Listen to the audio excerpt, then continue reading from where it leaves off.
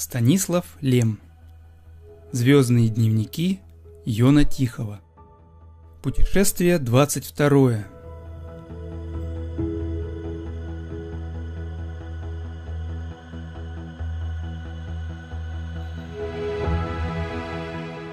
Я сейчас занят классификацией редкостей, привезенных мною из путешествий в самые отдаленные закоулки галактики. Давно я уже решил передать всю коллекцию – единственную в своем роде, в музей. Недавно директор сообщил мне, что для этого подготавливается специальный зал. Не все экспонаты мне одинаково близки.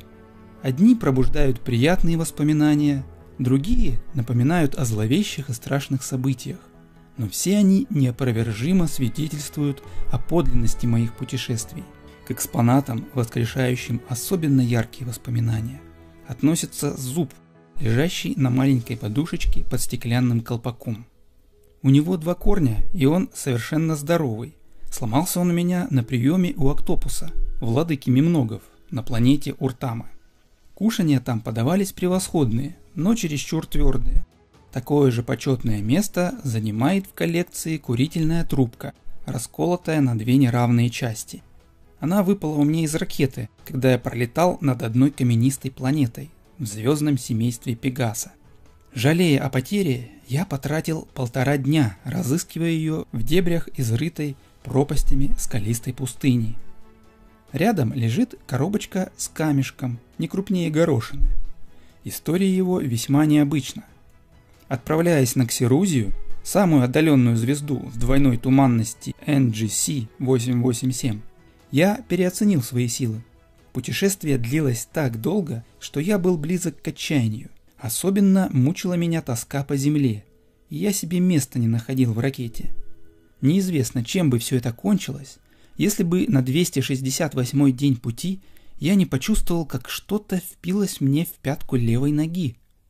Я снял башмак и со слезами на глазах вытряхнул из него камешек, крупицу самого настоящего земного гравия попавший туда, вероятно, еще на космодроме, когда я поднимался в ракету, прижимая к груди этот крохотный, но такой дорогой мне кусочек родной планеты, я бодро долетел до цели. Эта памятка мне особенно дорога. Рядом лежит на бархатной подушке обыкновенный желтовато-розовый кирпич из обожженной глины, слегка треснувший и с одного конца обломанный.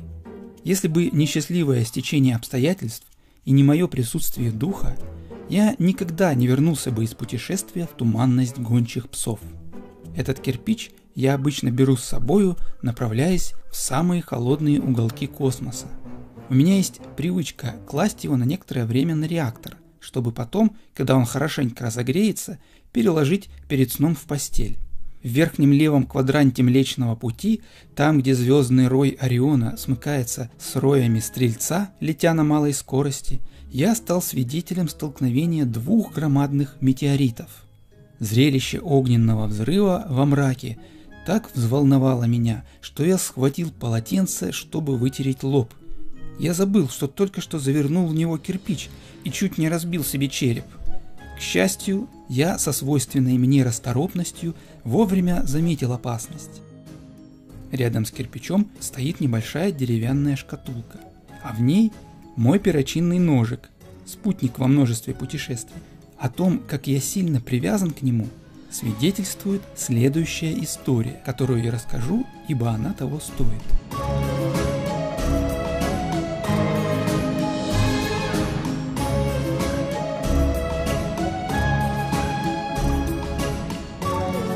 Я вылетел с Сателлины в 2 часа пополудни с ужасным насморком.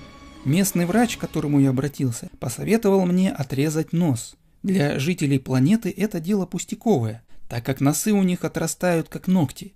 Возмущенный таким советом, я прямо от врача отправился в космопорт, чтобы улететь куда-нибудь, где медицина развита лучше. Путешествие было неудачное. В самом начале Отдалившись от планеты на каких-нибудь 900 тысяч километров, я услышал позывные встречной ракеты и спросил по радио, кто летит. В ответ раздался тот же вопрос. «Отвечай ты первый», – потребовал я довольно резко, раздраженный дерзостью незнакомца. «Отвечай ты первый», – ответил он. Это передразнивание так меня рассердило, что я без обиняков назвал поведение незнакомца наглостью. Он не остался в долгу. Мы начали переругиваться все яростнее, и только минут через двадцать, возмущенный до крайности, я понял, что никакой другой ракеты нет, а голос, который я слышу, это попросту эхо моих собственных радиосигналов, отражающихся от поверхности спутника Сателлины, мимо которого я как раз пролетал. Я не заметил этот спутник, потому что он был обращен ко мне своей ночной, затененной стороной. Примерно через час, захотев очистить себе яблоко, я заметил, что моего ножика нет. И тотчас вспомнил, где видел его в последний раз.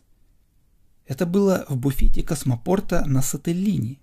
Я положил его на наклонную стойку, и он, вероятно, соскользнул на пол – все это я представил себе так ясно, что мог бы найти его с закрытыми глазами. Я повернул ракету обратно и тут оказался в затруднительном положении. Все небо кишело мерцающими огоньками. Я не знал, как найти среди них Сателлину, одну из 1480 планет, вращающихся вокруг Солнца Эрипелазы. Кроме того, у многих из них по нескольку спутников – крупных, как планеты, что еще больше затрудняет ориентацию. Встревожась, я попытался вызвать Сателлину по радио. Ответили мне одновременно несколько десятков станций, от чего получилась ужасающая какофония. Нужно знать, что жители системы Эрипелазы, столь же безалаберные, сколь и вежливые, дали название Сателлины двумстам различным планетам. Я взглянул в иллюминатор на мириады мелких искорок на одной из них находился мой ножик. Но легче было бы найти иголку в стоге сена, чем нужную планету в этой каше из звезд.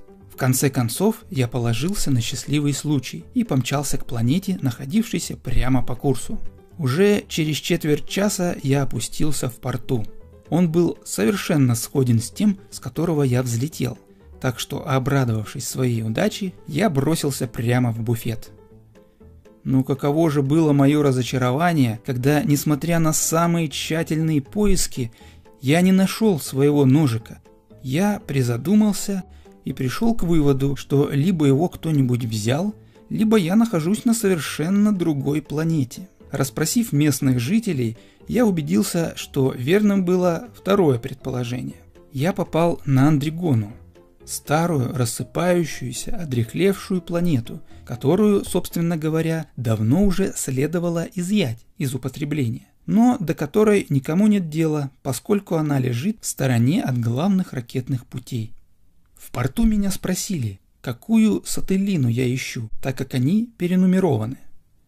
Тут я стал в тупик, ибо нужный номер вылетел у меня из головы. Тем временем местные власти, уведомленные начальством порта, явились, дабы устроить мне достойную встречу. То был великий день для андрегонов. Во всех школах шли экзамены на аттестат зрелости. Один из представителей власти спросил, не угодно ли мне почтить экзаменуемых своим присутствием. Приняли меня чрезвычайно радушно. Я не мог отказать. Прямо из порта мы поехали на Педлаки, это большие безногие присмыкающиеся, вроде ужей, которые здесь повсеместно используются для верховой езды в город. Представив меня собравшейся молодежи и учителям, как почетного гостя с планеты Земля, преподаватели усадили меня на почетное место за жорвой, это что-то вроде стола, и прерванные экзамены продолжались. Ученики, взволнованные моим присутствием, сначала пугались и сильно конфузились, но я ободрял их ласковой улыбкой, подсказывал то одному, то другому нужное слово, и первый лед был сломан. Чем дальше, тем лучше становились ответы. Но вот, перед экзаменационной комиссией встал молодой Андрегон, весь покрытый мерзягами – род устриц, употребляемый в качестве одежды, такими красивыми, каких я давно не видел, и начал отвечать на вопросы с несравненным красноречием и искусством. Я слушал его с удовольствием, убеждаясь, что уровень науки здесь на удивление высок. Потом экзаменатор спросил, может ли кандидат доказать нам, почему жизнь на Земле невозможна. Слегка поклонившись, юноша приступил к исчерпывающим, логично обоснованным доказательствам, при помощи которых бесспорно установил, что большая часть Земли покрыта холодными, очень глубокими водами, температура которых близка к нулю вследствие множества плавающих там ледяных гор, что не только на полюсах, но и в окружающих областях свирепствует вечный холод, и по полугоду царит беспросветная ночь.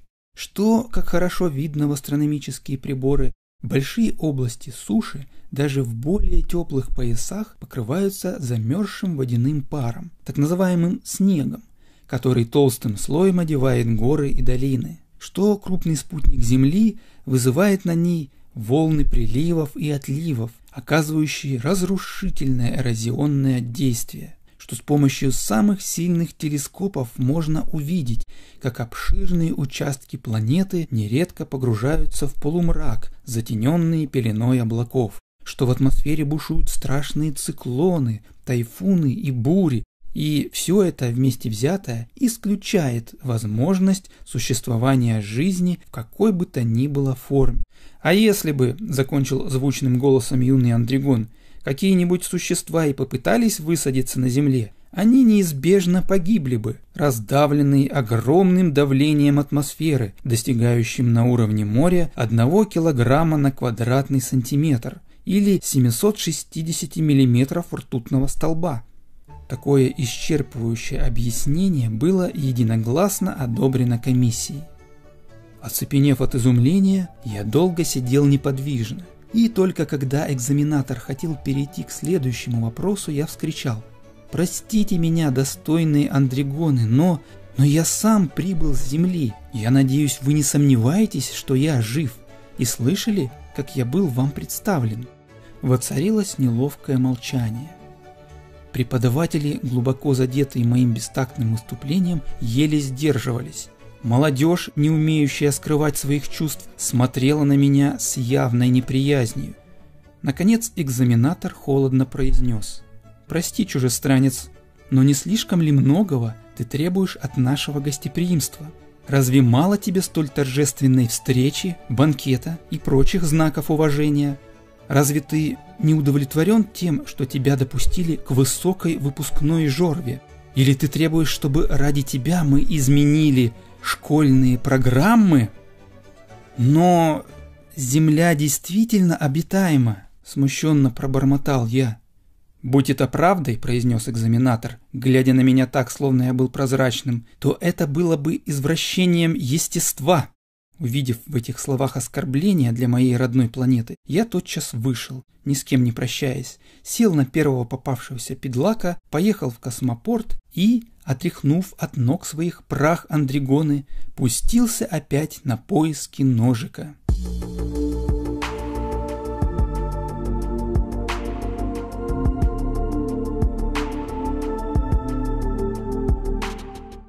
Я высаживался поочередно на пяти планетах группы Линденблада, на планетах Стереопропов и Мелоциан, на семи больших небесных телах планетного семейства Кассиопеи, посетил Астерилию, Аверанцию, Мельтонию, Латерниду, все ветви огромной спиральной туманности в Андромеде, системы Плезиомаха, Гастрокланция, Эфтремы, Семенофоры и Перальбиды, на следующий год я систематически прочесал окрестности всех звезд Сапоны и Меленваги, а также планеты Эритродонию, Аринаиду, Эодокию, Артинурию и Страглон со всеми его 80 лунами, нередко такими маленькими, что едва было где посадить ракету. На Малой Медведице я не мог высадиться, там как раз шел переучет. Потом настал черед Цефеид и Арденеид и руки у меня опустились, когда по ошибке я снова высадился на Линденбладе. Однако я не сдался и, как подобает подлинному исследователю, двинулся дальше.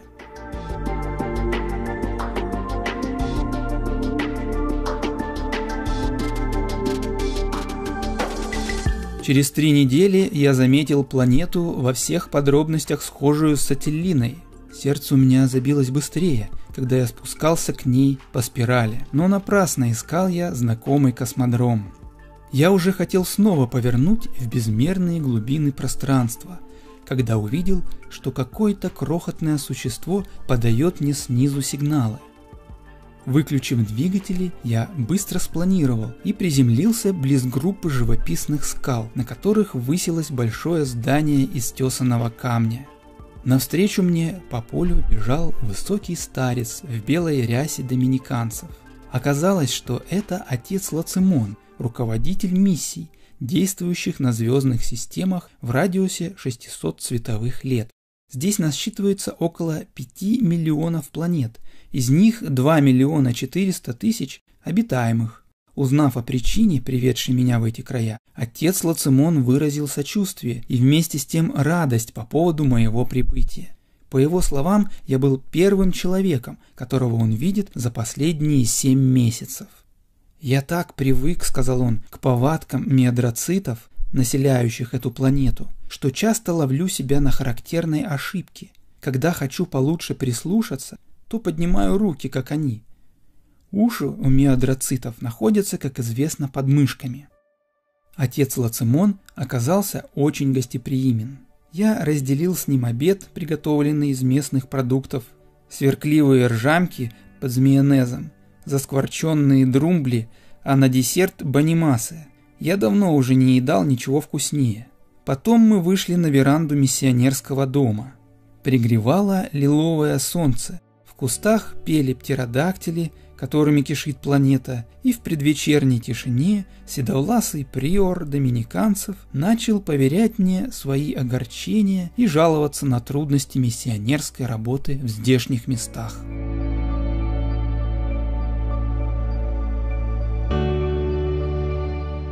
Например, пятеричники, обитатели горячей антилены, мерзнущие уже при 600 градусах Цельсия и слышать не хотят о рае, Зато описания ада их живо интересуют, ввиду существования там благоприятных условий, кипящей смолы и пламени. Кроме того, неизвестно, кто из них может принимать духовный сан, так как у них различается пять полов. Это нелегкая проблема для теологов. Я выразил сочувствие. Отец Лацимон пожал плечами. Это еще ничего, Бжуты, например, считают воскресение из мертвых такой же будничной вещью, как одевание, и никак не хотят смотреть на него как на чудо. У дартридов с гилией нет ни рук, ни ног, и креститься они могли бы только хвостом.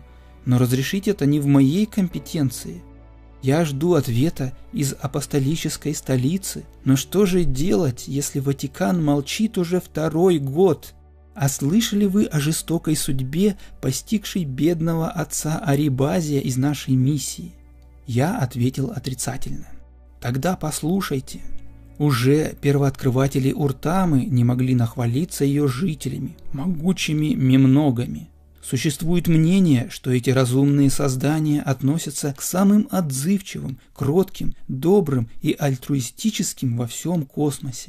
Полагая, что на такой почве превосходно взойдут семена веры, мы послали к мемногам отца Арибазия, назначив его епископом язычников.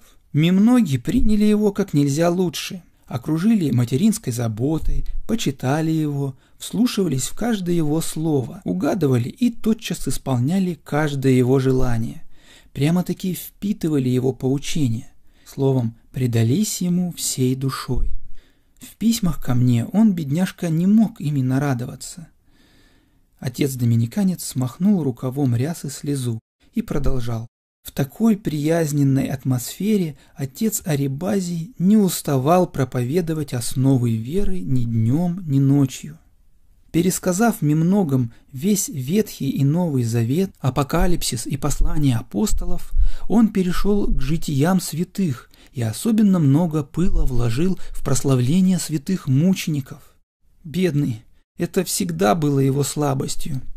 Превозмогая волнение, отец Лацимон дрожащим голосом продолжал. Он говорил им о святом Иоанне, заслужившем мученический венец, когда его живьем сварили в масле, о святой Агнессе, давшей ради веры отрубить себе голову, о святом Себастьяне, пронзенным сотнями стрел и претерпевшим жестокие мучения, за что в раю его встретили ангельским славословием, о святых девственницах, четвертованных, удавленных, колесованных, сожженных на медленном огне, Они принимали все эти муки с восторгом, зная, что заслуживают этим место одесную Вседержителя. Когда он рассказал мне многом обо всех этих достойных подражания житиях, они начали переглядываться, и самый старший из них робко спросил, «Преславный наш пастырь, проповедник и отче достойный, скажи нам, если только соизволишь снизойти к смиренным твоим слугам, попадет ли в рай душа каждого, кто готов на мученичество?» «Непременно, сын мой», — ответил отец Арибазий. «Да, «Это очень хорошо», — протянул Мемнок. «А ты, отче духовный, желаешь ли попасть на небо?» «Это мое пламеннейшее желание, сын мой». «И святым ты хотел бы стать», — продолжал вопрошать старейший Мемнок. «Сын мой, кто бы не хотел этого?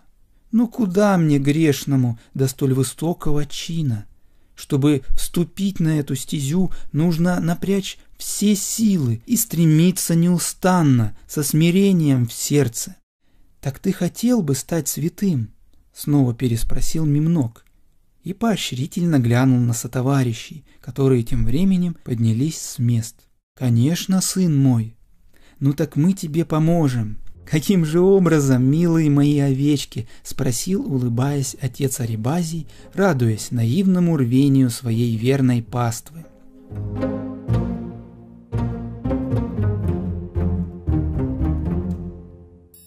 В ответ Мемноги осторожно, но крепко взяли его под руки и сказали «Таким отче, какому ты сам нас научил». Затем они сперва содрали ему кожу со спины и намазали это место горячей смолой, так как сделал в Ирландии палач со святым Иокинфом. Потом отрубили ему левую ногу, как язычники святому Пафнутию. Потом распороли ему живот и запихнули туда охапку соломы, как блаженной Елизавете Нормандской, после чего посадили его на кол, как святого Гуга, переломали ему все ребра, как сиракузяне святому Генриху Падуанскому, и сожгли медленно на малом огне, как бургунцы Орлеанскую деву. А потом перевели дух, умылись и начали горько оплакивать своего утраченного пастыря. За этим занятием я их и застал, когда, объезжая звезды епархии, попал в сей приход. Когда я услышал о происшедшем, волосы у меня встали дыбом – Ломая руки, я вскричал «Недостойные лиходеи! Ада для вас мало! Знаете ли вы, что навек загубили свои души?» «А как же!» — ответили они, рыдая. «Знаем!» Тот же старейший Мемнок встал и сказал мне. «Досточтимый отче, мы хорошо знаем, что обрекли себя на проклятие и вечные муки, и прежде чем решиться на сие дело, мы выдержали страшную душевную борьбу. Но отец Арибазий неустанно повторял нам, что нет ничего такого, чего добрый христианин не сделал бы для своего ближнего, что нужно отдать ему все и на все быть для него готовым. Поэтому мы отказались от спасения души, хотя и с великим отчаянием, и думали только о том, чтобы дрожайший отец Арибазий обрел мученический венец и святость. Не можем выразить, как тяжко нам это далось, ибо до его прибытия никто из нас и мухи не обидел. Не однажды мы просили его, умоляли на коленях смилостивиться и смягчить строгость наказов веры, но он категорически утверждал, что ради любимого ближнего нужно делать все без исключения – Тогда мы увидели, что не можем ему отказать, ибо мы существа ничтожные и вовсе недостойные этого святого мужа, который заслуживает полнейшего самоотречения с нашей стороны. И мы горячо верим, что наше дело нам удалось, и отец Арибазий причислен ныне к праведникам на небесах. Вот тебе, досточтимый отче, мешок с деньгами, которую мы собрали на канонизацию. Так нужно – Отец Арибазий, отвечая на наши рассказы, подробно все объяснил. Должен сказать, что мы применили только самые его любимые пытки, о которых он повествовал с наибольшим восторгом. Мы думали угодить ему, но он всему противился и особенно не хотел пить кипящий свинец. Мы, однако, не допускали и мысли, чтобы наш пастырь говорил нам одно, а думал другое, Крики им издаваемые были только выражением недовольства низменных, телесных частей его естества, и мы не обращали на них внимания, памятая, что надлежит унижать плоть, дабы тем выше вознесся дух. Желая его ободрить, мы напомнили ему о поучениях, которые он нам читал, но отец Арибазий ответил на это лишь одним словом, вовсе непонятным и невразумительным. Не знаем, что оно означает, ибо не нашли его ни в молитвенниках, которые он нам раздавал, ни в священном писании. Закончив рассказывать, отец Лацимон отер крупный пот с чела, и мы долго сидели в молчании, пока седовласый доминиканец не заговорил опять. «Ну скажите теперь сами, каково быть пастырем душ в таких условиях? Или вот эта история?» Отец Лацимон ударил кулаком по письму, лежавшему на столе. Отец Ипполит сообщает Сарпетузы, маленькой планеты в созвездии весов, что ее обитатели совершенно перестали заключать браки, рожать детей, и им грозит полное вымирание. «Почему?» – в недоумении спросил я. «Потому что едва они услышали, что телесная близость – грех, как тотчас возжаждали спасения. Все как один дали обет целомудрия и соблюдают его. Вот уже две тысячи лет церковь учит, что спасение души важнее всех мирских дел. Но никто ведь не понимал этого буквально, о Господи! А эти арпетузианцы все до единого ощутили в себе призвание и толпами вступают в монастыри, образцово соблюдают уставы, молятся, постятся и умерщвляют плоть, а тем временем промышленность и земледелие приходят в упадок, надвигается голод и гибель угрожает планете. Я написал об этом в Рим, но в ответ, как всегда, молчание. И то сказать, рискованно было идти с проповеди на другие планеты, заметил я. А что нам оставалось делать? Церковь не спешит ибо царство ее, как известно, не от мира сего. Но пока кардинальская коллегия обдумывала и совещалась, на планетах, как грибы после дождя, начали вырастать миссии кальвинистов, баптистов, редемтористов, мариавитов, адвентистов и бог весть какие еще. Приходится спасать, что осталось. Ну, если уж говорить об этом, идите за мной.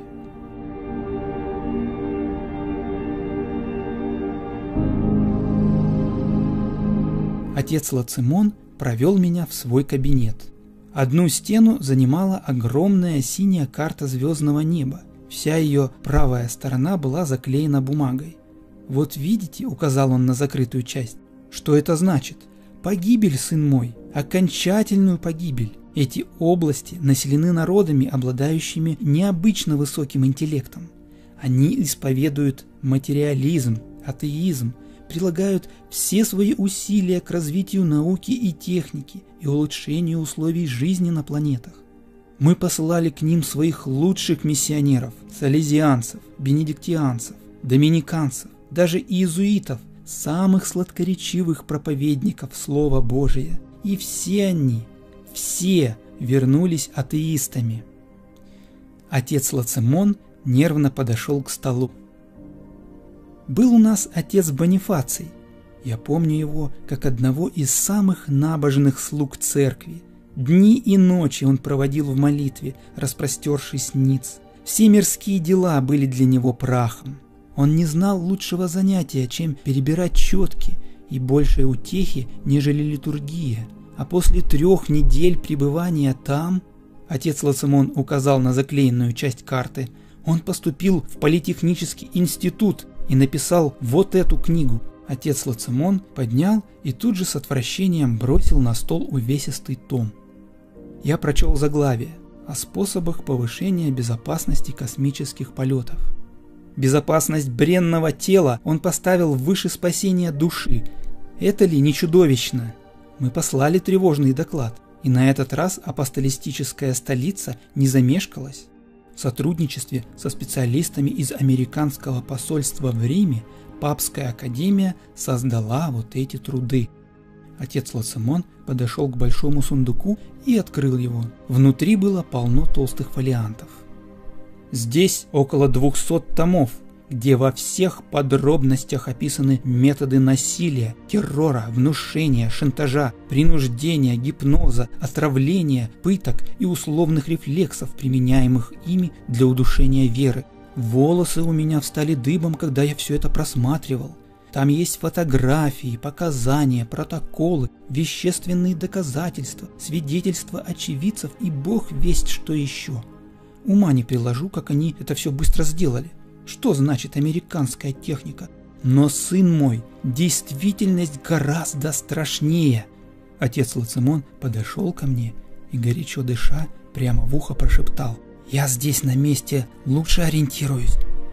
Они не мучают, ни к чему не вынуждают, не пытают, не вгоняют винты в голову. Они попросту учат, что такое Вселенная, откуда возникла жизнь, как зарождается сознание и как применять науку на пользу людям. У них есть способ, при помощи которого они доказывают миру как дважды два, что весь мир исключительно материален. Из всех моих миссионеров сохранил веру только отец Серваций и то лишь потому, что глух как пень и не слышал, что ему говорили. Да, сын мой, это похуже пыток. Была здесь одна молодая монахиня-кармелитка, одухотворенное дитя, посвятившее себя одному только Богу. Она все время постилась, умерщвляла плоть, имела стигматы и видения, беседовала со святыми, а особенно возлюбила святую Миланию и усердно ей подражала. Мало того, время от времени ей являлся сам архангел Гавриил. Однажды она отправилась туда. Отец Лосимон указал на правую часть карты. Я отпустил ее со спокойным сердцем, ибо она была нищая духом, а таким обещано Царствие Божие. Но лишь только человек начинает задумываться, как да что, да почему, тотчас разверзается перед ним бездна ереси, я был уверен, что доводы их мудрости перед нею бессильны, но едва она туда прибыла, как после первого же публичного явления ей святых, сопряженного с приступом религиозного экстаза, ее признали невротичкой, или как там это у них называется, и лечили купаниями, работами по саду, давали какие-то игрушки, какие-то куклы. Через четыре месяца она вернулась. Но в каком состоянии? Отец Лацимон содрогнулся. «Что с ней случилось?» – жалостью спросил я. Ее перестали посещать видения. Она поступила на курсы ракетных пилотов и полетела с исследовательской экспедицией к ядру галактики. Бедное дитя. Недавно я услышал, что ей опять явилась святая Милания, и сердце у меня забилось сильней от радостной надежды. Но оказалось, что приснилась ей всего лишь родная тетка – Говорю вам, провал, разруха, упадок. Как наивны эти американские специалисты присылают мне 5 тонн литературы с описанием жестокости, чинимых врагами веры. О, если бы они захотели преследовать религию, если бы закрывали церкви и разгоняли верующих. Но нет, ничего подобного. Они разрешают все. И совершение обрядов, и духовное воспитание – и только всюду распространяют свои теории и доводы. Недавно мы попробовали вот это. Отец Лацимон указал на карту. Но безрезультатно. Простите, что вы попробовали? Ну, заклеить правую часть космоса бумагой и игнорировать ее существование. Но это не помогло. В Риме теперь говорят о крестовом походе в защиту веры. А вы что об этом думаете, отче? Конечно, оно бы неплохо, если бы можно было взорвать их планеты, разрушить города, сжечь книги, а их самих истребить до последнего, тогда удалось бы, пожалуй, и отстоять учение о любви к ближнему. Но кто в этот поход пойдет? Мимноги? Или, может, арпетузианцы? Смех меня разбирает, но вместе с ним и тревога. Наступило глухое молчание – Охваченный глубоким сочувствием, я положил руку на плечо изможденному пастырю, чтобы его подбодрить. И тут что-то выскользнуло у меня из рукава, блеснуло и стукнулось о пол. Как описать мою радость и изумление, когда я узнал свой ножик? Оказалось, что все это время он преспокойно лежал за подкладкой куртки, провалившись туда сквозь дыру в кармане.